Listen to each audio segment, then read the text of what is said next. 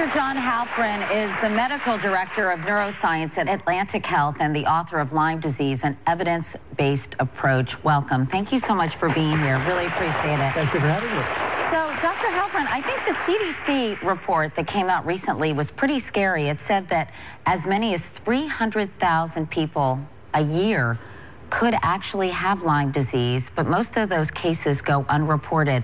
Why have the numbers jumped so dramatically? The main thing is it's not more common in the areas that have already had it, but there's been a gradual expansion of the parts of the country where uh, uh, where the disease occurs. And, and I know 49 states uh, so, now have Lyme disease. Well, in, in, re right? in reality, 95% of cases come from uh, the, the, eastern seaboard of the United States, uh, ranging from the southern end of Maine down to uh, Virginia or so.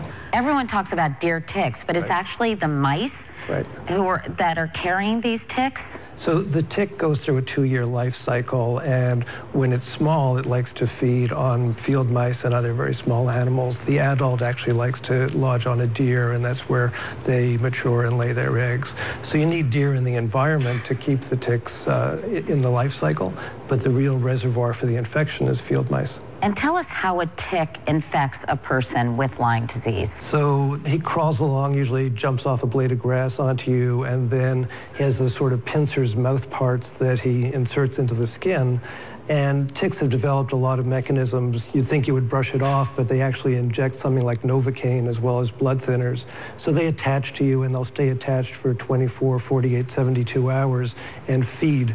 And as they feed, your blood goes into the tick, and he returns the favor by injecting infectious organisms, whatever he's carrying, into you.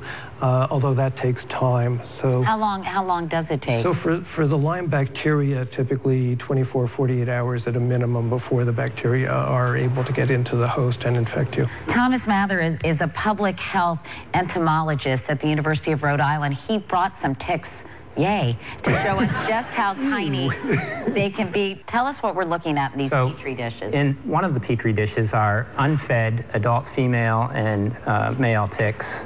Um, the females are really the ones that bite. Um, the males sort of are there to mate.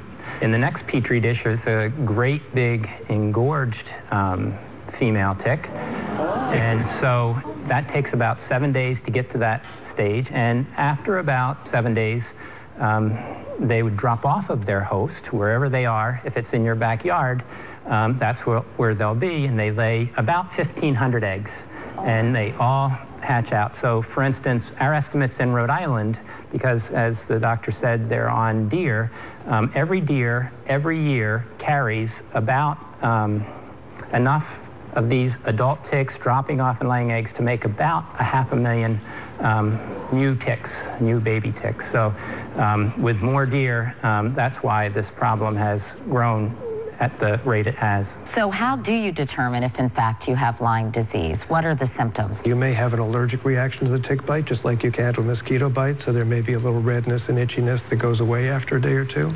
But then if you've been infected, uh, the bacteria that the tick has injected start spreading out in the skin, and as they spread out, you get a red reaction to that. We often hear about this bullseye rash, right. and it, it, let's talk about that, because I know in many cases, the bullseye rash never appears. As the spirochetes spread out from the, uh, the bite site, you get this expanding red rash. Many times what will happen is as the leading edge gets red, the part inside that becomes pale, and then you get this bullseye target sort of appearance.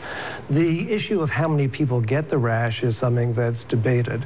If this is on your back or, or your bottom or behind your thigh, you may never see it. Right. So part of the issue is how many people have a rash as opposed to how many people notice a rash. Then you say there are flu-like symptoms. What happens in a subset of people is the bacteria spread through your body. When that happens, your immune system gets all upset. And it does what you do with any infection spreading through your body, which is you get a fever, aches, pains, you feel terrible. Including joint pain, I know. You, you can have joint pain, muscle pain, pain all over, headaches. Then I know there's some nervous system issues. Right. Facial paralysis, meningitis. Right. So meningitis is a scary word. It means inflammation of the lining of the brain.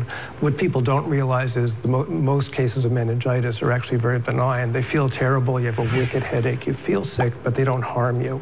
And Lyme is that sort of meningitis, where it's an inflammation that's very painful, um, certainly makes you very unhappy, uh, but doesn't do much damage in and of itself. How, how is Lyme typically treated?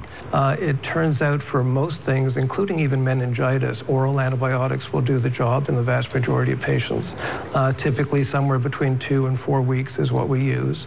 In severe cases, severe nervous system cases, severe heart cases, uh, we'll go to IV antibiotics or if someone hasn't responded to oral antibiotics. And again, it's an intravenous antibiotic that we use for somewhere between two and four weeks in most people.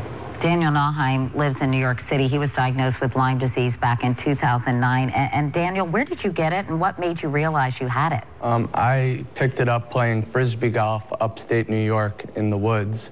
And I realized it about a week later when I had a big bullseye rash on my thigh. And I actually went to the emergency room at that time, but they told me I just had a spider bite and they discharged me with no medication or treatment. And as time got, went on, uh, the symptoms were worse. I suffered memory loss, and I was just really struggling to walk. And after being treated with antibiotics for about two weeks, I started to feel a little better, but the aches and pains went on for about two months. Daniel said he would not have tested positive necessarily with a blood test.